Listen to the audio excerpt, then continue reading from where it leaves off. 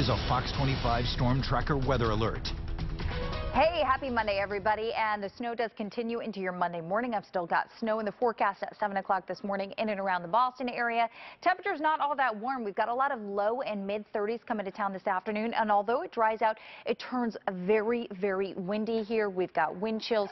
We've got the potential for wind damage here later on. And the best bet for snow continuing through the morning hours is going to be across eastern Massachusetts, in particular northeastern Massachusetts. Expected to see an additional 3 to 6 six inches of snow there. This is on top of Sunday snow, and that's what's going to help bump us into that 6 to 12 inch range for most locations, even the potential of going over a foot for northeastern Mass and parts of the seacoast of New Hampshire. So weather concerns as we go through the day. Yes, we're concerned about some bands of heavy snow during the morning hours.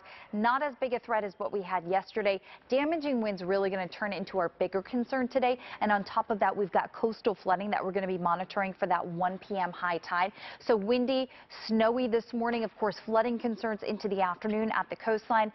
For tomorrow, at least we get a one-day break at 34 degrees. It's going to be partly sunny. And then into your Wednesday here, we are looking at the potential for some light snow and light rain. You can find the total timeline with us. We stay all local with your news and weather on the Fox 25 Morning News until 10 a.m. See you there.